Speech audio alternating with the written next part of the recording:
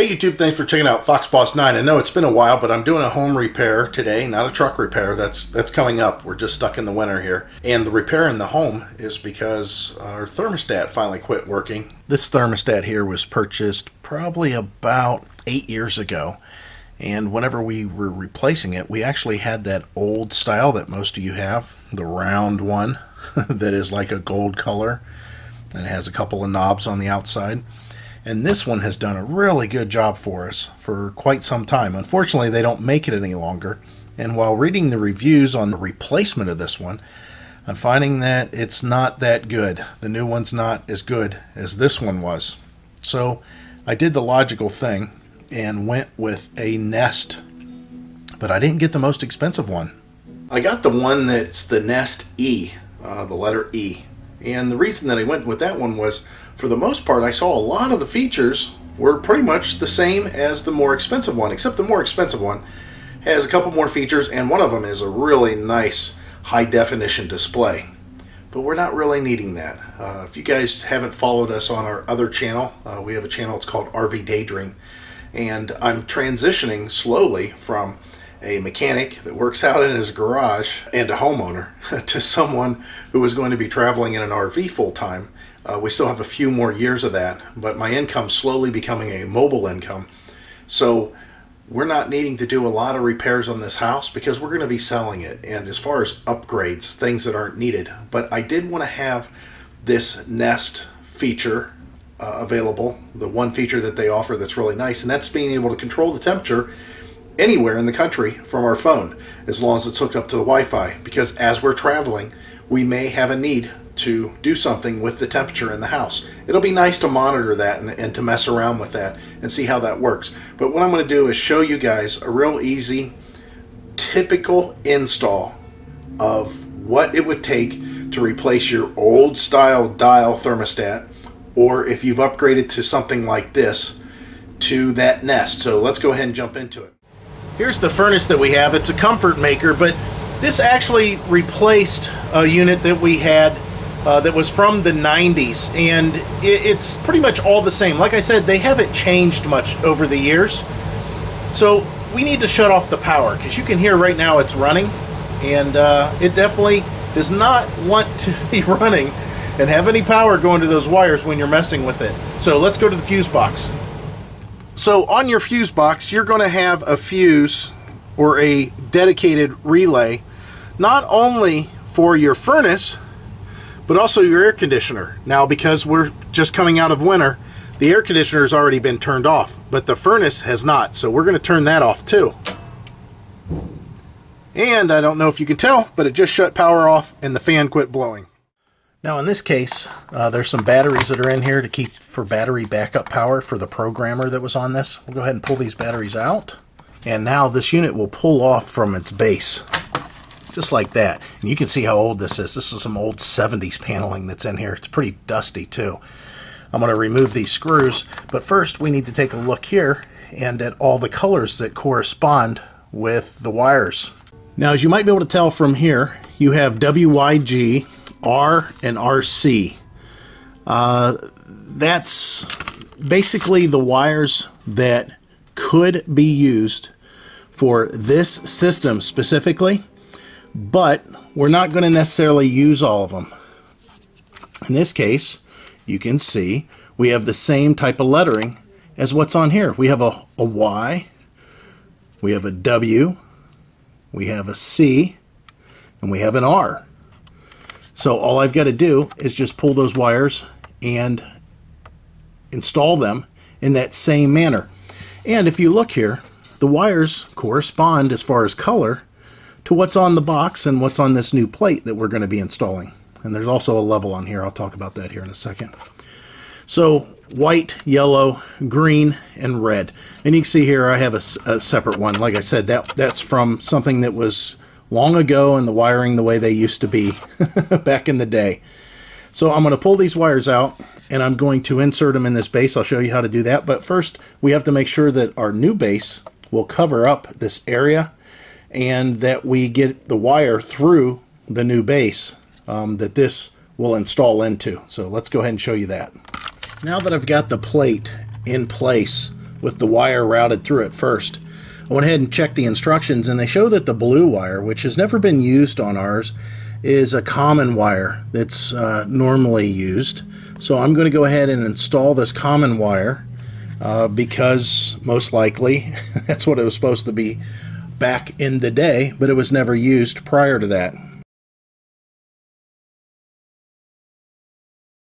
So at this point, I'm going to insert these wires into these tabs, and you can see they're just little push buttons that releases them, and that'll lock them in place and give you the colors that you need to this unit. This is like a, a main unit here. Then we'll go ahead and level it out, put some screws in, but first let me attach the wires and let you see what that looks like. Now read the instructions. Uh, I mean, they're pretty explicit. They tell you which wire should be going where, and if your wire's marked a certain way, you know, if it's an RC or an RH, that it's just an R. Um, if you have something that's OB, that's for uh, some kind of a heat pump. I mean, they cover all the options. So just read the instructions. That's the most important thing. Once I put the wires through this base plate and also this securement plate um, or module, then I went ahead and slid them into its corresponding spots. And you can see again, yellow goes to Y1, G green, R red, white 1, and then I went ahead and put the blue common in. And I do have the casings peeled back a little bit further probably than you need to, just in case one of these other wires come loose. They might want to fall and touch that, but I feel pretty safe securing it this way. So now what I'm going to do is align the base plate and this module will kind of click in place here you know, see here, we'll get it, there we go. And now, since there's a built-in level, you can level this and then uh, install the screws that holds this whole mechanism in. So let me go ahead and put the screws in this thing to hold it down. Now that I've got this installed, you can see that it's off center here. And the reason is, is because this is one of the original outside walls or walls that was load bearing to the outside of the house uh, from the 1920s. So it's gone through quite a few different changes over the years, and the hole that was drilled behind uh, for the original thermostat and wiring is uh, really messed up. In your case, you're probably not going to have as much problem as me. Um, this plate is rather large, and it would have covered up the entire area if I was able to position it and center it um, except for a tiny little sliver. So I'm pretty happy with that so far. So now everything's installed, everything's secured. All I have to do is now install the nest onto the, uh, the module here uh, so it can get its readings. Whenever you're reinstalling the main unit onto the base, uh, you got to push it on until it clicks. Make sure that you get this lined up. And remember, there's a ring on the outside that moves. So you want to get this lined up as much as possible and then just press it on until it clicks. And you'll, you'll hear an audible click there. And that's it. It's, uh, it's secured. It's not going anywhere at this point. Very nice. I, I like that. I mean, there's some movement because you're supposed to be able to touch this. Uh, so it's just compressing itself. That's all that is. So you don't have to press very hard. That's what I want to get at here. Let me go ahead and flip the fuse and see what this looks like now. All right, so I turned off the light so you get a little bit of a, a better view of what's going on here. And now it's going ahead and asking you to do a setup. Now, in this case, you can see uh, we've got choices, but this doesn't have a touch screen. So what you do is you turn the dial and then press it down to make your choices. Confirm my choice. Internet connection. Connect to the internet for remote control updates. Yep, we want to connect to that, that's for sure.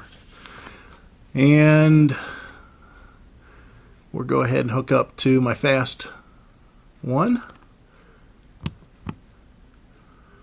And now we'll do the password, which I won't let you see because I don't want you to use my internet.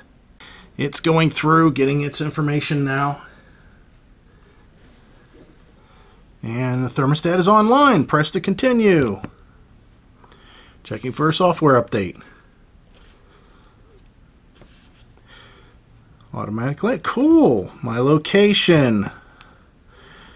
Uh, local time. Determine the weather forecast. Okay, sure. Yeah, no, I'm not not quite there. Close. I'm in uh, North America, obviously. Definitely in the USA. Let's go ahead and get a zip code in here. In the big metropolis of Beloit. And we're single family. And this is located in the living room. Heating and cooling. Are you a Nest Pro? No, I'm a homeowner. Equipment, common, heat, fan, power, cool. Okay, looks like that's accurate there. Error, no power to the R wire detected. Learn more. So now I got to find out why there's no power to the R. What the problem was, I didn't need that blue common wire connected. Remember, my old one didn't have it connected. I thought that it wouldn't hurt, and it didn't hurt anything. It just wasn't going to work. So basically what will happen is if you have an error, which was probably a good example on this one, it will light up whichever one is incorrect. And in this case, the red R for the power wasn't working correctly, and it had to do with this common wire that I had connected. So I disconnected the common wire, and now everything looks good. And there we go. Heating, cooling fan.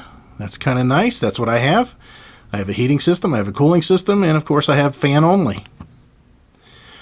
And we are gas. Thank God. Gas is relatively cheap. It is forced air. So good, we're good there. Temperature. Should your nest begin by heating or cooling your home? Well, heating. And we want to heat it to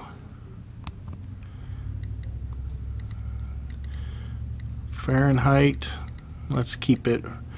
Let's see what this thing does at. Oh, I don't know. Let's try. Let's do 68 today. Nah, let's actually go to 67. And we'll be done. And we're not going to do any cooling today. So, system test. Let's test now. Yeah, let's test the heating. Testing W1 wire. The heat should be on. Check the vents. Might take a few minutes for the air begin to flow. It's kicked on. It's running. That's awesome. The heat has been turned off. That is great. Can't do the cooling because the uh, again the air conditioner is all covered up outside. I don't want to burn up that uh, unit that's out there. And then Nest app. Would you like to control this thermostat with the Nest app? Yes. Getting an entry key. So now I have to enter that information into the Nest app. So I went ahead and added the app to my phone. Uh, there's some setup features that you do. Uh, once the app is installed, I invited uh, my wife so she has access to it with her own account so she can make changes. And then I just set up a basic setup for this to control the house uh, using eco-friendly settings. And then, of course, you can adjust it as needed. So this is uh, this is pretty good. I'm I'm pretty happy with this. Awesome. It says we're at 68. And if you want to change it, obviously you could just do that. It'll change the temperature.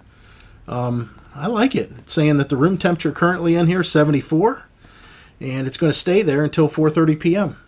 Awesome. Of course, this thing will come on at night uh, when you walk past it, and then when nobody's around, of course, it, it'll it'll go blank, so it's not blaring all the time. But this is a very very nice nice feature. Uh, this is the item. It's the Nest E. This isn't the high dollar one. This one goes for anywhere between 150 170 dollars. I'm going to put the link in my description click the link. Now, there may be some pictures that show up here off to the side uh, that YouTube is trying to uh, have you click. Uh, this is the only way to ensure you get the exact same product that I got from Amazon. Uh, again, the link is in the description, so go down in the description where I have some words, some some phrases, stuff like that, and you'll see a link. It'll basically be uh, get your thermostat here. Click it, it'll take you right to it. That way you know you're getting it from Amazon and you're getting the exact same product from a qualified seller. I appreciate it, guys, and hopefully this worked out for you. Bye.